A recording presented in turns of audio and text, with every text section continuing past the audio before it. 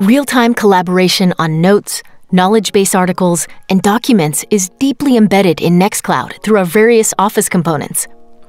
Here, Christine has been keeping notes to structure her thoughts.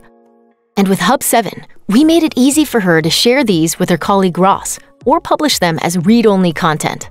Ross uses Collectives, Nextcloud's knowledge base application to help him plan any aspects of his virtual event. He notices this page is relevant for the upcoming year as well and copies it over for his new event.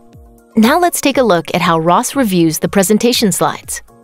Finding the right folder is easy as a simple search, and there are various slide decks. Nextcloud Office has excellent compatibility with a wide variety of commonly used formats, including Microsoft Office documents. So the slides will look great, no matter where they come from. Fonts are key for Office compatibility.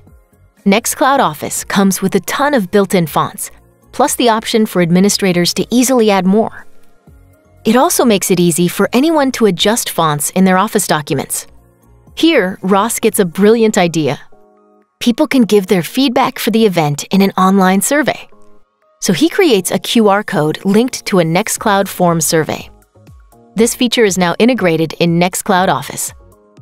And once the event is done, Ross tracks the event's attendance in a spreadsheet and uses the improved conditional formatting to help Christine see clearly who showed up and who did not. Plan your next adventure. Seamlessly collaborate with others remotely and finish your tasks easier and faster with Nextcloud Hub. Visit nextcloud.com today and see how much more we can do for you.